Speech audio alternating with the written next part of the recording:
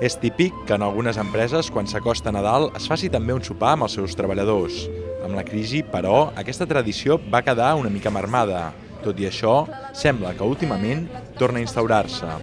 Aquest cap de setmana i el vinent, el restaurant Tarambana de Cardedeu tenen pràcticament totes les taules plenes. Veiem que cada any eh, hi ha més gent que celebra, celebren coses. Que siguin empreses o no, hi ha gent que ho diu i hi ha gent que no ho diu, però sí que hem notat que, que, que ja venen més grups a partir de mitjans de desembre fins a finals d'any eh, que venen aquí a, a, a celebrar alguna cosa.